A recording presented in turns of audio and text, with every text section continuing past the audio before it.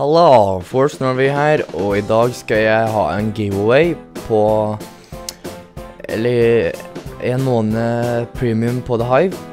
Um, så ja, det blir sikkert kult for dem som vinner. Um, alt dere trenger å gjøre, er å like videoen og kommentere. Uh, men uh, dere trenger faktisk ikke å like, altså, for at uh, du vet f.eks. at du kan ha gjort sånn at alle de videoene du liker, er privat, og da, hvis jeg skal sjekke om du har lika videoen, og, og f.eks. du har lika, men det viser ikke at du har lika den, og da blir det bare tull med det, så jeg har ikke med at du skal like. Og det trenger heller ikke å abonnere, men jeg hadde satt utrolig stor pris på om du hadde gjort det, så ja. Men uh, uansett, håper en av dere vinner. Så snakkes vi, folkens. Ha det bra.